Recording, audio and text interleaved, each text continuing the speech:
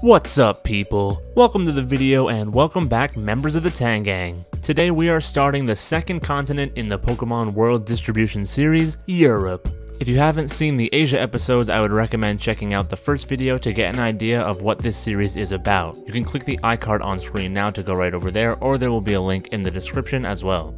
Asia had 259 Pokemon and Europe came in second place with 216. Drop a like if you're excited to find out which Pokemon would be from Europe, and now, without further ado, let's jump into this.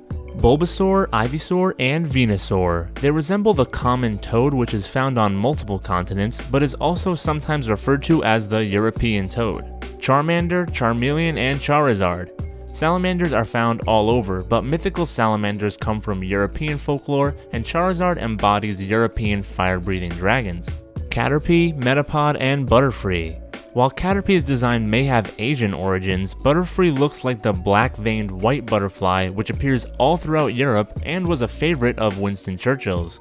Ekans and Arbok. Arbok may be Cobra backwards, basically, but there's much more evidence supporting this line's origin coming from the European basilisk, which is said to be poisonous and have a killer glare. Cleffa, Clefairy, and Clefable. These Pokemon are literally just based on European fairies, even before their typing was actually fairy. Machop, Machoke, and Machamp. Bodybuilding originated in England in the late 19th century, so it's safe to assume these guys would be there for that. Tentacool and Tentacruel. Tentacruel is based on the Portuguese Man o' War, and Portugal is in Europe, of course. Ponyta and Rapidash. The unicorn is a popular mythical creature in European lore which Rapidash originates from. Gastly, Haunter, and Gengar. Gengar bears a strong resemblance to the Cheshire Cat from Alice in Wonderland, written by English writer Lewis Carroll. Onix and Steelix. They're likely based on earthworms, but since those are too widespread, the alternate origin works better, that being the European worm of myth. Mime Jr. and Mr. Mime. Miming was originally developed in France by a few different French actors, mainly, and I'm probably going to pronounce these names wrong, Etienne Decroux and his teacher Jacques Copeau. Tauros. Bulls are probably most well known for bullfighting and the running of the bulls, which both happen in Spain.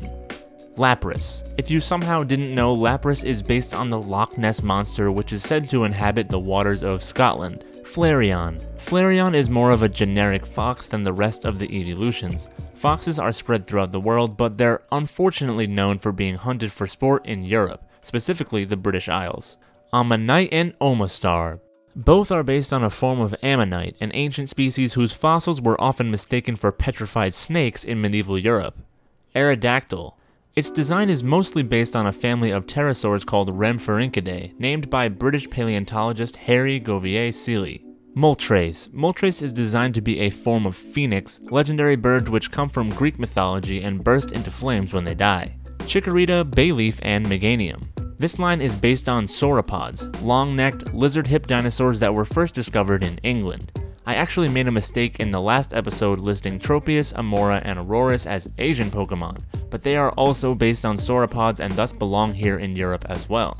Sentret and Furret. Change one letter from Furret and you get Ferret, the domesticated form of the European polecat. Ledyba and Ledian. Known as ladybugs in America and ladybirds in the UK. Odds are they were in England first, so they belong in this dex. Chinchou and Lanturn. Man, these guys gave me a hard time since football fish are so widespread, and Wikipedia just says they were discovered by an unnamed fisherman in the 1900s. I ended up tossing them in Europe because Lanturn also apparently draws inspiration from the Greek god Apollo as well. Politoed. Slightly different from the family it branches off of, Politoed looks more like a European tree frog with its lime green coloring and yellowish feet. Hoppip, Skiploom, and Jumpluff. This line depicts the lifespan of a dandelion, the two most common species of which originated in Europe. Yanma and Yanmega. Dragonflies are quite widespread, but the ancient genus Meganeura seems to be the main inspiration for these giant insects, probably where Yanmega gets its mega from. The first Meganeura fossils were discovered and named by French paleontologist Charles Brongniart, Misdreavus and Mismagius. While witches are the most commonly cited inspiration for Mismagius, it's tough to place witches in a certain region due to how widespread the concept is. But both Mismagius and Misdreavus draw upon the idea of a banshee, which is a type of female spirit in Irish mythology. Unown. They take the form of the characters in the Latin alphabet which obviously has European derivations. Snubbull and Granbull, based on bulldogs also known as British or English bulldogs. Houndour and Houndoom. The origin for these pups is Cerberus, the Hound of Hades from Greek mythology. Stantler, the closest thing the Pokemon universe has to a reindeer. The Taimyr herd of migrating Siberian tundra reindeer in Russia is the largest wild reindeer herd in the world. Smeargle, a mix of an artist and a beagle. The modern day breed of beagle was developed in Great Britain in the 1800s.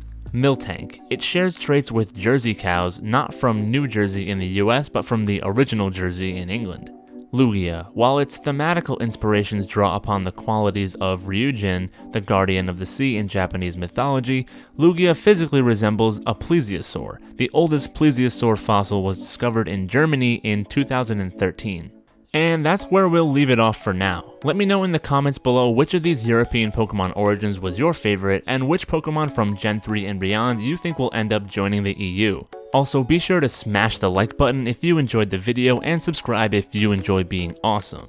Thanks for watching, and until we meet again, later people!